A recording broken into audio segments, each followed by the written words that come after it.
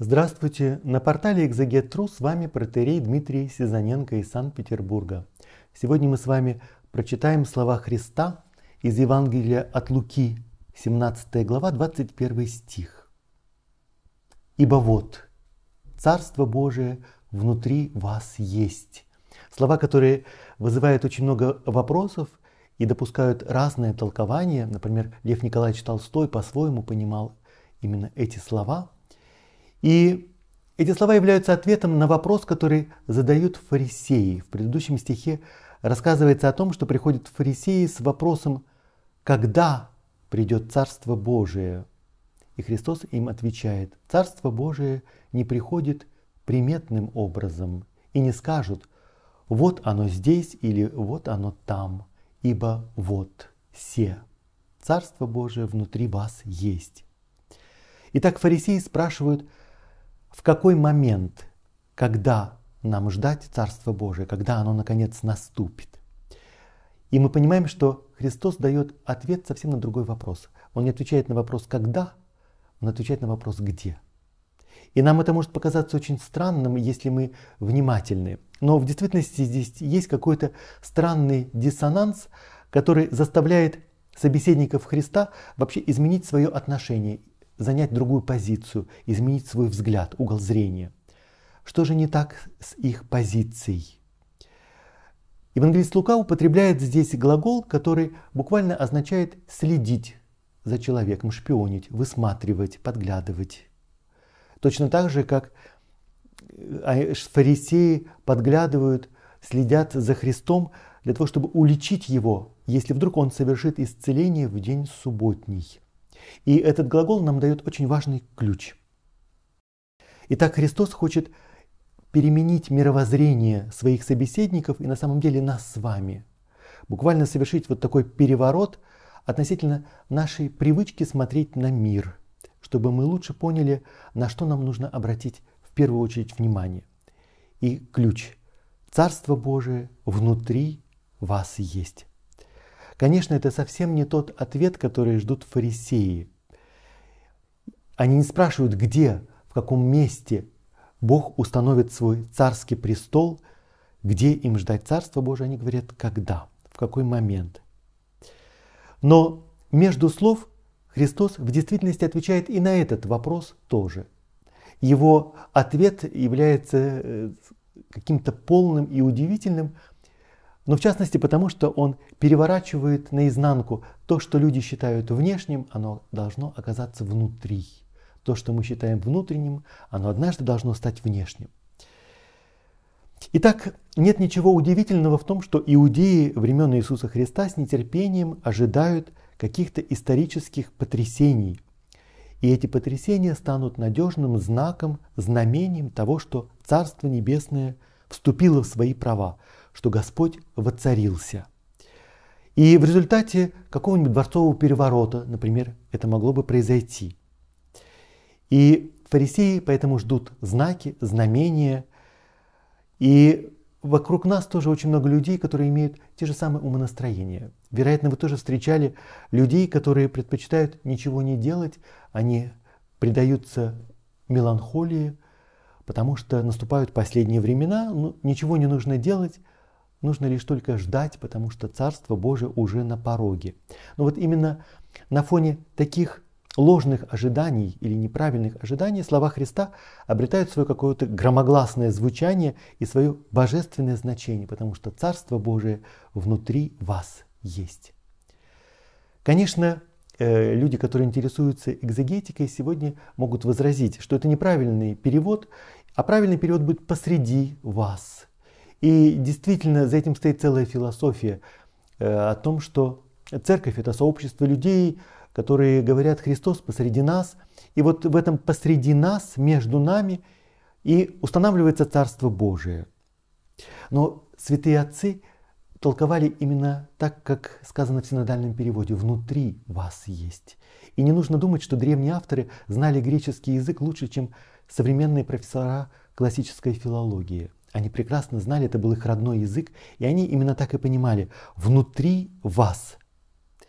И это не означает, что Царство Божие ограничивается тесными рамками внутреннего мира человека. Потому что есть другая крайность, которая сегодня очень популярна, крайность все трактовать психологически, с точки зрения индивидуальной психологии. Внутри нас, внутри меня, это значит вот какие-то психологические глубины, в которых вот Бог где-то там действует, на каких-то человеческих глубинах. Но и не об этом тоже говорит Христос. Он говорит о том, что Царство Божие действительно себя являет в том, что между людьми возникает новый тип отношений. Агапе, любовь, это как некое пространство, э, в котором оказываются люди, и оно прежде всего выражает новый стиль отношений, который выражается во взаимной любви, заботе, бережном отношении друг к другу, уважении. И поэтому Царство Божие является именно в этом новом типе отношений между людьми, новых межличностных отношений между ближними людьми, которые тем самым преобразуют весь окружающий мир. Поэтому люди, которые думают, что церковь это просто какое-то сообщество людей, община, сообщество, и если мы будем говорить друг другу э, Христос посреди нас, потому что в Евангелии сказано, где двое или трое Христос, то потому что они собрались во имя Его, то Он и появится. Но в действительности эти слова нам говорят о том, что если Христа нет в твоей душе, то его не нужно искать вовне. Просто повторение одних только слов между нами или ожидание, что вот Он появится между нами, и если при этом не произойдет какой-то внутренней перемены сердца, то все это кажется совершенно бесплодным и ни к чему. Нечто подобное мы с вами встречали в советское время, потому что главный вопрос, э, вопрос о новом человеке, потому что э, новый социальный порядок требует возникновения нового образа человека, строителя светлого будущего или э, жителя этого светлого будущего. И что первично, внешнее или внутреннее. На самом деле Евангелие снимает это противоречие, оно говорит, одно не существует без другого. Царство Божие между нами воцарится в тот момент, когда внутри каждого из нас воцарится Бог. И э, это и будет внешним проявлением того, что действительно и мир меняется, и что-то меняется внутри нас.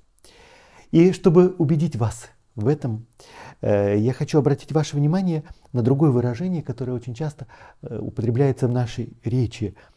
Бог приходит как тать в нощи. Евангелист говорит о том, что люди ждут пришествия Бога как кого-то, кто придет извне, и будут какие-то внешние события, внешние знаки, но в действительности он пришел как взломщик, как налетчик, как тать в нощи, вы его ждете у дверей, а на самом деле он уже внутри дома, он уже проник внутрь вас, тогда, когда вы его совсем не ждали. Вы караулили у дверей, вы охраняли входы и выходы, а он уже внутри, он уже проник в ваши тылы. И именно это и означает выражение «Царство Божие внутри вас есть». Оно уже пришло, оно уже наступило. Другое дело, что вы по-прежнему ждете его где-то вовне. И здесь, конечно, хочется провести параллель с нашей современной действительностью, потому что современные масс-медиа нас приучают обращать внимание прежде всего на внешние события. Настолько, что мы теряем самих себя и теряем своих близких, и теряем чувства, которые мы испытываем к своим близким, просто в привычке непрестанно листать новостные ленты, следить за внешними событиями, в ожидании каких-то новостей. И Христос как раз обращает наши взоры прежде всего к тому, что происходит внутри нас. И вот вопрос, прислушаемся ли мы к этому или останемся равнодушными, как современный человек, который листает газеты, журналы, новостные ленты, просто соглядатайствует, никак не преображаясь внутри. Другое очень важное слово, которое здесь употребляется, Царство Божие внутри вас есть. Разумеется, грамматика арамейского языка, на котором говорил Иисус Христос, совсем исключает наличие этого глагола. Он не нужен. Точно так же, как и в русском языке, мы очень часто опускаем глагол «быть». Так называемая нулевая связка. И поэтому по-русски достаточно сказать «Царство Божие внутри вас». И как бы подразумевается этот глагол «быть», потому что его наличие как бы существенно ничего не меняет. Но в греческом тексте он употребляется для того, чтобы подчеркнуть нечто очень важное. Царство Божие – это не то, что будет когда-то, потом, в заоблачных далях. Это то, что уже есть здесь и сейчас. Здесь возникает, конечно, вопрос.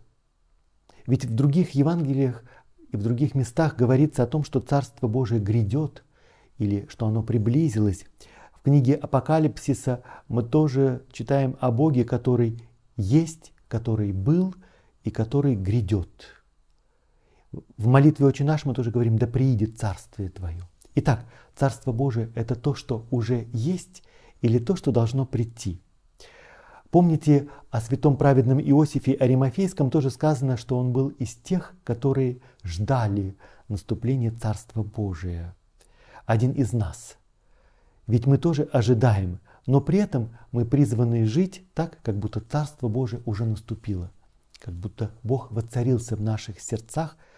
И поэтому снимается тоже привычное нам человеческое противоречие, либо уже есть, либо его еще нужно только ждать. Одно не исключает другого. Недопустимо только одно – относиться к этому как внешний соглядатель, ждать чего-то как внешний зритель, не, как не вступая в эту игру, не участвуя в этом. Если хотите сравнить Царство Божие с каким-нибудь спектаклем в театре, то это как раз то место, где не имеет смысла оставаться в зрительном зале, сидеть в портере. Нужно быть на сцене, нужно быть среди участников. И, конечно, здесь приходит на ум замечательное свидетельство, которое мы находим в книге «Исповеди блаженного Августина». О своем обращении в веру, о своем открытии Христа он говорит удивительными словами. В десятой книге исповеди он признается, обращаясь к Богу, «Поздно я возлюбил тебя, красота». Красота у святых отцов иногда возникает как одно из имен Бога. Всегда древнее, всегда новое, поздно возлюбил я тебя. Как поздно. Ты был во мне, а я был вовне. Ты был во мне, а я был во внешнем мире, и там я тебя искал и бросался на прекрасные формы, сотворенные тобой, искажая самого себя, теряя самого себя. Ты был со мной, а я не был с тобой. И этот мир удерживал меня вдали от тебя, хотя этого мира никогда бы не было, если бы он не был в тебе, если бы ты его не сотворил. И вот ты позвал, ты возопил и разбил мою глухоту, ты сверкнул, воссиял и рассеял мою слепоту. Ты излил благоухание свое, я вдохнул, и вот я томлюсь и задыхаюсь без тебя. Я вкусил тебя и плачу, и алчу только твоего мира. Э, и вот здесь как раз мы видим прекрасную иллюстрацию и толкование того, о чем говорит Христос. Очень часто мы ищем Бога где-то вовне, хотя Он нас ждет внутри нас. И поэтому Григорий Великий говорит о том, что небеса, в которых пребывает Господь, в действительности это сердце праведника, сердце человека. Краткий путь к ближнему тоже проходит через Бога. Если мы хотим любить ближнего, понимать его, принять его, то лучший и кратчайший путь через Бога, обретая в своем сердце этот цвет, это сияние божественного присутствия – мы открываем в новом свете, и наши ближние становятся близкими нам как никогда. На портале Экзегет.ру с вами был протерей Дмитрий Сизаненко из Санкт-Петербурга.